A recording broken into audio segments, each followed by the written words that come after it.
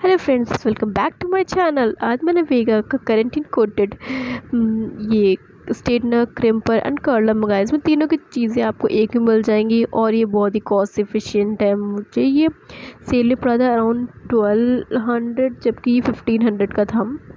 And कोई भी middle class या फिर लोअर क्लास को अफोर्ड कर सकता है, क्योंकि और जो ब्रांड्स के होते हैं, बहुत ही ज़्यादा कॉस्टली होते हैं एंड ये कोई मिडिल क्लास आराम से बेगा की सबसे अच्छी क्वालिटी यही है, कि ये अपने मिडिल क्लास के जो कंज्यूमर्स होते हैं, उसको बहुत ही ज़्यादा अट्रैक्ट करती है, क्योंकि उनके सारे प्रोडक्ट बहुत ही अफोर्डेबल होते हैं।